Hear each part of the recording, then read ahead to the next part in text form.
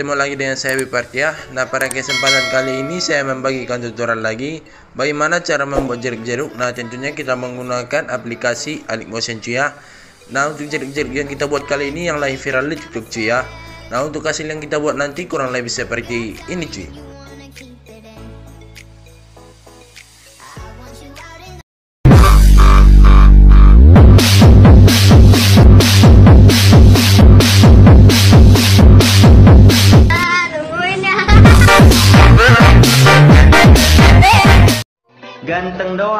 Nonton kagak di subscribe Canda subscribe.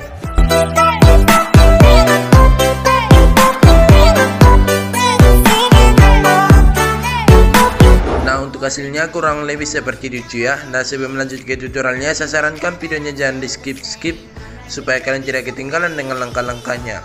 Nah sebelum lanjut ke tutorialnya Mari kita bangun channel ini dengan cara like, comment, dan subscribe Supaya aku makin lama makin semangat dalam membuat videonya Tanpa berlama-lama lagi Langsung kita buka aplikasi Alik Motionnya Let's go Oke guys, saya sudah berada di aplikasi Motionnya. Nah di bagian sini saya sudah membuat project dengan aspek ratio 9 banding 16 cuy ya.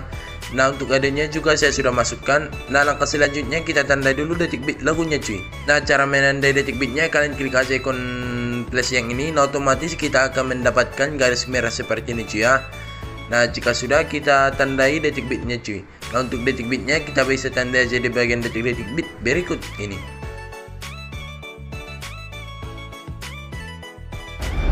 Nah, oke okay guys, jika sudah kalian tanda detik bit lagunya, nah kurang lebih seperti ini. Langkah pertama kita pergi dulu ke bagian belakang, lalu kita masukkan foto yang mau kita edit cuy ya.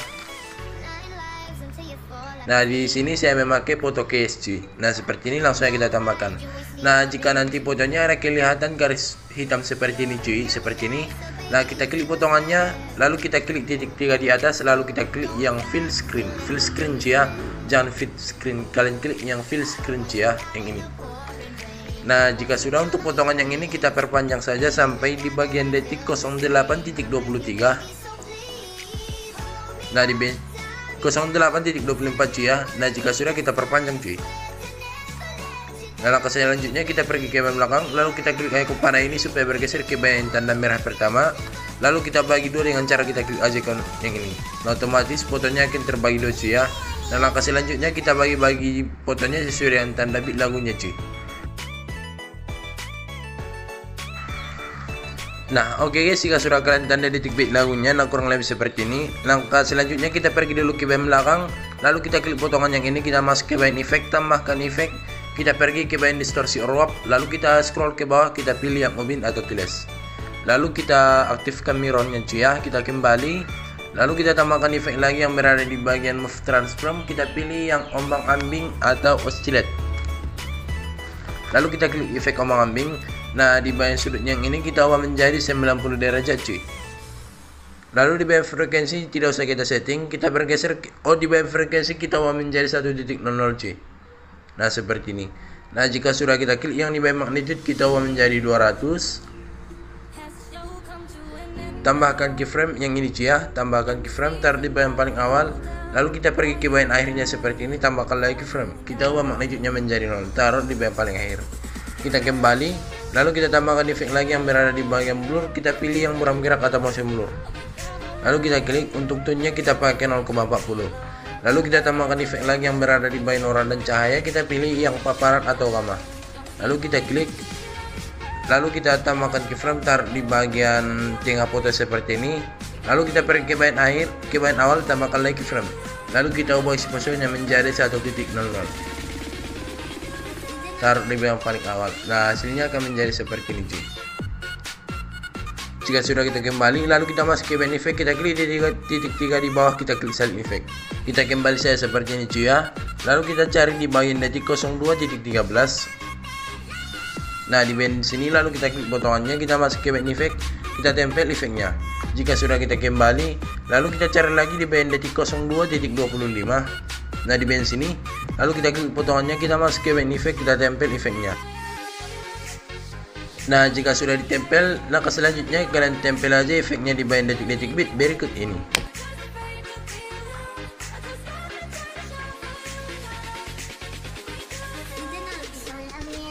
Nah, jika sudah kalian tempel, sekarang kita kembali, lalu kita pergi ke belakang, lalu kita cari dulu di band detik 02.06 atau di bagian tanda merah pertama, lalu kita klik kita masuk ke efek, kita tempel efek yang tadi cia, cuman kita klik efek kembang ambing, lalu di bagian sudut yang ini kita ubah menjadi minus 90 derajat cuy, kebalikannya cuy ya.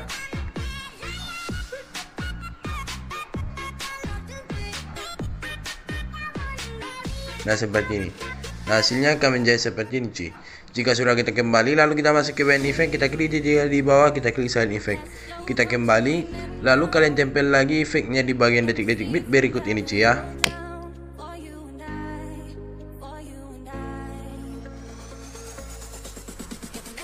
Nah, jika sudah kita pergi dulu ke bagian detik 03.03 Nah di base ini kita klik potongannya, kita masuk ke main effect, lalu kita klik di jika di bawah tempel effect. Lalu kita klik ombang ambing, sudutnya kita ubah menjadi 90 derajat cuy. Sudutnya kita ubah menjadi 90 derajat. Lalu di bagian frekuensi kita ubah menjadi 2.10 Lalu di bagian magnitude kita klik kita keluarkan tanda yang di bagian paling awal. Lalu kita paskan seperti ini. Lalu kita ubah magnitude men magnitude-nya menjadi 300 start di yang paling awal. Kita masuk ke bagian kurva kita buat kurvanya seperti ini. Jika sudah kita kembali kembali lagi. Lalu kita tambahkan efek lagi yang berada di bagian distorsi uap. Lalu kita pilih yang lingkungan gelombang C yang ini. Lalu kita klik pengaturan standar. Nah untuk efek lingkungan gelombang kalian taruh di bawah ombak ambing ya. Lalu kita klik nah di bagian tahap tambahkan keyframe taruh di bagian akhir tambahkan lagi. Kita ubah tahapnya menjadi 1.00 taruh di bagian paling awal kita masuk ke bagian kurva kita buat kurvanya seperti ini. Kita kembali lalu di bagian sudut kita ubah menjadi minus 30 minus 35 derajat. Lalu di bagian jarak kita ubah menjadi 10 di bagian magnitude tambahkan keyframe taruh di bagian awal tambahkan lagi kita ubah magnitude menjadi 0 taruh di bagian paling akhir kita masuk ke bagian kurva kita buat kurvanya seperti ini. Kita kembali lalu di bagian sudut warp kita ubah menjadi 30 menjadi 45 derajat. Nah hasilnya akan menjadi seperti ini cuy jika sudah kita klik di di titik tiga di atas kita klik gandakan atau duplikat lalu kita untuk ombang-ambing yang ini kalian taruh di bagian sini cuy ya. Kalian taruh di bagian sini. Lalu kita klik ombang lingkungan gelombang yang ini. Nah di bagian sudut kita klik lalu kita menjadi 35 derajat cuy Seperti ini. Nah hasilnya akan menjadi seperti ini cuy Nah jika sudah kita kembali Lalu kita masuk ke bagian efek tambahkan efek Kita pergi ke bagian move transform kita pilih yang ayun atau sini Atau swing Lalu untuk ayun kalian taruh di bagian sini cuy Kalian taruh di bagian sini cuy ya. Lalu kita klik efek ayun. Frekuensi kita ubah menjadi 1.00 lalu di bagian sudut satu kita ubah menjadi 7 derajat. Tambahkan keyframe taruh di main awal. Tambahkan lagi kita ubah sudut satunya menjadi 0 taruh di bagian paling akhir kita pergi ke bagian sudut 2 kita ubah menjadi minus 5 taruh di tip keyframe taruh di bagian awal tambahkan lagi keyframe lalu kita ubah sudut duanya menjadi nol. Taruh di bagian paling akhir. Nah alhasilnya akan menjadi seperti ini cuy kita kembali lalu kita masuk ke bagian effect kita klik di tiga di bawah kita klik select effect kita kembali. Lalu kita cari dulu di bagian detik 04.01 nah di bagian sini kita klik potongannya lalu kita masuk ke bagian effect kita tempel efeknya kita kembali lalu kita cari lagi di band detik 04.21 04.21 nah di, kita klik potongannya kita masuk ke band effect kita tempel efeknya kita cari lagi di band detik 05.19 lalu kita tempel efeknya cuy ya. Kita cari lagi di band detik 06.24 kita tempel efeknya. Nah yang ini. Nah hasilnya akan menjadi seperti ini cuy kita cek dulu.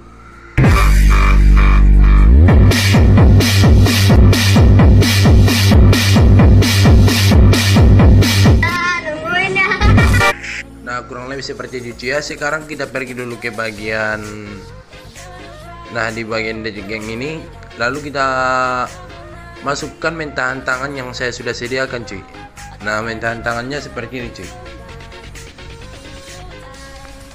Langsung saya kita tambahkan cuy ya. Lalu untuk mentahan tangan ini kita perpanjang saja sampai di band detik 09.17 lalu kita kembali seperti ini. Lalu kita paskan dulu di band detik 08 jadi 24 kita masukkan foto yang berbeda cuy kita masukkan foto yang berbeda cuy ya nah seperti ini langsung kita tambahkan. Lalu kita klik tiga di atas. Kita klik tiga di atas. Kita klik yang full screen. Jika sudah untuk potongan yang ini kita perpanjang saja sampai di bagian detik. Nah sampai di band detik 11.14 cuy kita perpanjang. Jika sudah kita paskan dulu di band sini kita bagi dua fotonya Lalu untuk potongan yang ini kalian taruh di bagian sini cuy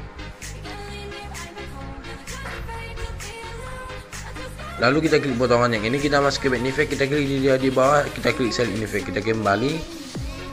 Lalu kita klik potongan yang ini kita masuk ke back effect kita tempel efeknya seperti ini cuy Nah jika sudah kita kembali saya seperti ini. Lalu kita masuk dulu ke band effect tambahkan effect kita pergi ke bagian distorsi RAW lalu kita pilih yang turbulent display C lalu kita klik pengaturan standar. Nah untuk efek turbulent display kita klik ikon mata supaya proses editingnya tidak ngelag cuy lalu kalian taruh di sini cuy ya. Lalu kita klik di bagian offset kita ubah menjadi 64 kekuatan tambahkan keyframe taruh di bagian awal. Tambahkan lagi frame kita ubah kekuatannya menjadi 0 taruh di paling akhir. Lalu kita masuk ke band kurva kita buat kurvanya seperti ini cuy nah seperti ini cuy jika sudah kita kembali lalu di band evolution kita ubah menjadi 4.0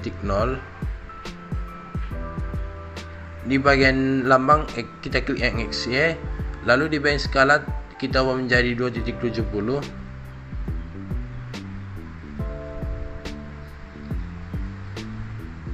tambahkan keyframe taruh di bagian awal tambahkan lagi keyframe kita ubah skalanya menjadi 0,40 c eh kita ubah menjadi 0 saja ya seperti ini. Taruh di yang paling akhir. Kita masuk ke bagian kurva kita buat kurvanya yang ini cuy kita buat kurvanya yang ini cuy ya. Kita kembali lalu di bench track untuk X nya kalian ubah menjadi 0 kita kembali. Lalu kita masuk ke band effect kita aktifkan efek turbulent display nah hasilnya akan menjadi seperti ini cuy oh di bagian kekuatannya yang ini kita klik dulu ya. Kita klik seperti ini. Lalu untuk kita keluarkan dulu tandanya seperti ini cuy lalu untuk keyframe yang ini kalian taruh di paling akhir keyframe yang ini kalian taruh di paling awal nah hasilnya akan menjadi seperti ini cuy. Lalu kita masuk ke band curve kita buat kurvanya seperti ini.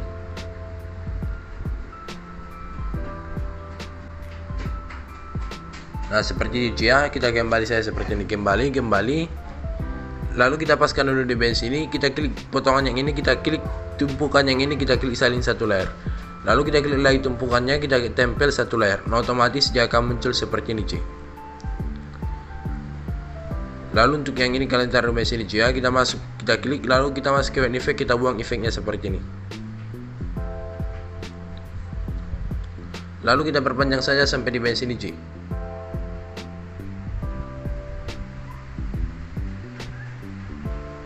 nah seperti ini cuy ya kita perpanjang. Nah jika sudah kita klik ay, kita klik mentahan tangannya lalu kita masuk ke move transform kita klik yang di lalu kita perkecil sedikit cuy nah jika sudah kita masuk ke bagian icon geser lalu kita hilangkan ke bagian sini cuy kalian hilangkan ke bagian sini tambahkan keyframe taruh di bagian awal Lalu kita pergi ke bagian tengah-tengah sini cuy ya atau di band detik 08.16 tambahkan lagi frame. Lalu kita geser tangannya ke bagian sini cuy, ke bagian sini cuy ya. Kalian ikuti cuy. Nah, seperti ini. Jika lalu kita paskan di band sini, kita geser tangannya ke band sini, Ci. Oh, kita geser dulu ke frame yang ini sedikit, Ci. Supaya kelihatan, Ci ya. Nah, seperti ini. Kalian geser tangannya seperti ini, Ci ya. Lalu kita masuk ke bagian rotate dan rotasi. Tambahkan keyframe di base ini sama di bagian detik 08 titik. Yang ini, Ci. Nah, jika sudah di band sini kita miringkan fotonya. Nah, kira-kira 30 derajat. Lalu kita masuk ke bagian move transform, kita zoom sedikit, cuy. Nah, supaya tangannya tidak ngebak, cuy. Nah, hasilnya akan menjadi seperti ini. Nah, jika sudah kita masuk ke bagian icon geser, kita masuk ke bagian kurva, kita buat kurvanya seperti ini, cuy. Di bagian rota dan rotasi juga kita buat kurvanya seperti ini. Nah hasilnya akan menjadi seperti ini cuy jika sudah kita kembali kembali lagi kembali. Lalu kita klik potongan yang ini kita masuk ke bagian move transform. Tambahkan keyframe di bagian sini cia sama di bagian sini. Lalu kita geser fotonya seperti ini. Oh ya guys di bagian sini kita kita kembali dulu. Lalu kita masuk ke efek kita buang efek gobin seperti ini kita buat efek gobin sama ombang ambing ya. Lalu kita kembali kita masuk ke move transform.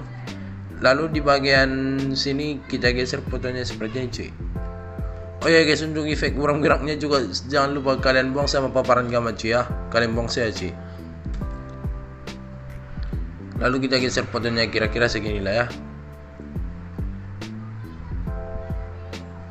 Nah kira-kira segini lalu kalian taruh di bagian akhir kita masuk ke bagian rotate dan rotasi tambahkan keyframe di bagian tengah sama di bagian sini. Lalu yang ini kita kita miringkan sedikit cuy.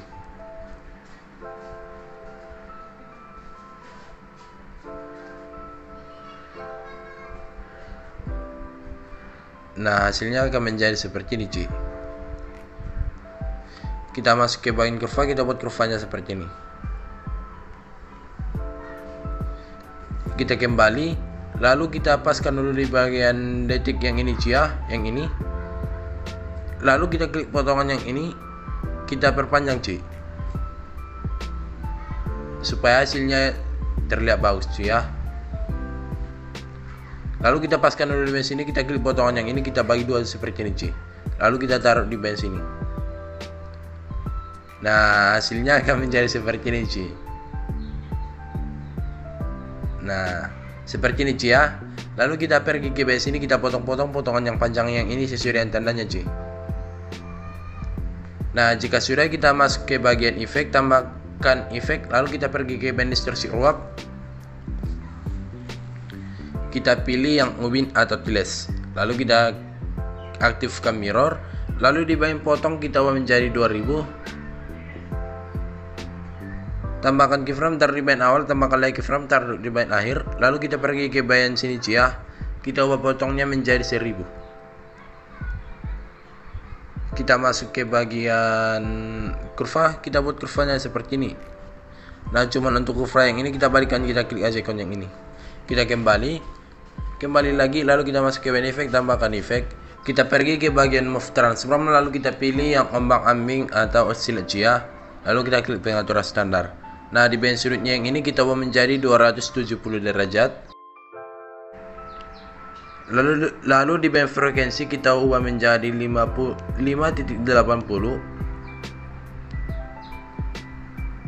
Di band magnitudenya kita ubah menjadi 300.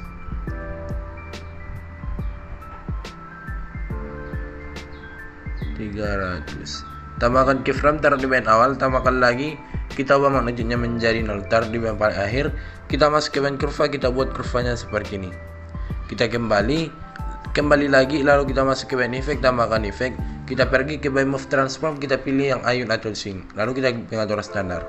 Lalu di bagian frekuensi kita ubah menjadi 6.8 6.70 cuy 6.70 lalu di bagian sudut satu kita ubah menjadi minus 17 tambahkan keyframe taruh di awal. Tambahkan lagi keyframe kita ubah sudutnya menjadi sudut satunya menjadi nol. Taruh di main paling akhir. Kita pergi ke bayan sudut 2 kita ubah menjadi 17 tambahkan keyframe taruh di bayan awal. Tambahkan lagi kita ubah sudut 2 nya menjadi 0 taruh di bayan paling akhir kita masuk ke bayan kurva. Kita buat kurvanya seperti ini untuk di bayan sudut 1 juga kita buat kurvanya seperti ini cuy kita kembali kembali lagi lalu kita tambahkan efek lagi yang berada di bagian blur kita pilih yang bergerak atau motion blur. Lalu kita untuk tone kita pakai 0,50 kita kembali lalu kita tambahkan efek lagi yang berada di binaural dan cahaya kita pilih yang paparan atau gamma. Lalu tambahkan keyframe di base ini sama di band awal. Di band awal ini ini kita ubah exposure-nya menjadi 1.00 taruh di band paling akhir kita masuk ke band kurva kita buat kurvanya seperti ini. Nah untuk kurvanya kita buat yang ini aja cuy. Kita kembali kembali lagi lalu kita masuk ke main effect kita tambahkan efek lagi yang berada di bagian distorsi ruap lalu kita pilih yang cermin atau mirror. Nah untuk efek cermin atau mirrornya kita nonaktifkan cuy ya. Kalian klik aja ikon mata. Lalu kita klik di tiga di atas kita tiga di bawah kita klik salin efek kita kembali nah kalian tempel efeknya sampai di bagian potongan terakhir ya kalian tempel aja efeknya Nah, jika sudah kalian tempel, sekarang kita klik potongan yang berada di benda 3 yang ini, kita klik, lalu kita masuk ke band effect, kita aktifkan efek cermin. Kita kembali, lalu kita loncati satu buah potongan. Nah, kita klik potongan yang ini, kita aktif, kita aktifkan efek cerminnya. Nah, hasilnya akan menjadi seperti ini, cuy. Lalu kita masukkan lagi foto yang mau kita edit. Lalu kita klik dulu tiga di atas kita klik yang full screen. Kita kembali lalu kita klik audionya kita sesuaikan fotonya dengan audionya ya seperti ini. Lalu untuk potongan yang ini kita potong-potong lagi sesuai dengan tandanya cuy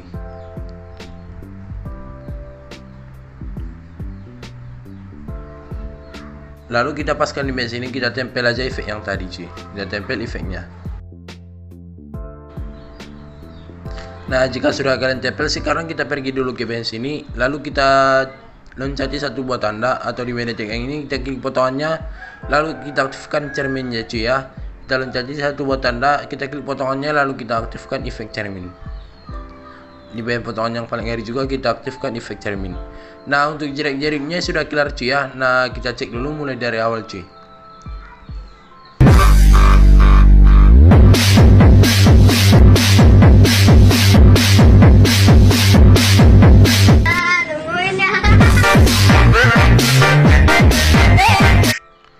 Untuk jerik-jeriknya kurang lebih seperti itu ya. Nah kalian simpan aja dengan cara kalian klik aja ikon yang ini Lalu kalian klik yang export Oke guys tutorialnya cukup sampai sini aja. Saya harap kalian paham dengan tutorial ini. Jika kalian suka video ini silahkan like, comment, dan subscribe Supaya aku makin lama makin semangat dalam membuat videonya. Jika videonya bermanfaat buat kalian silahkan share ke teman-teman kalian. Saya Habib Hussein pamit undur diri. Assalamualaikum warahmatullahi wabarakatuh. Sampai jumpa di video-video berikutnya. Bye bye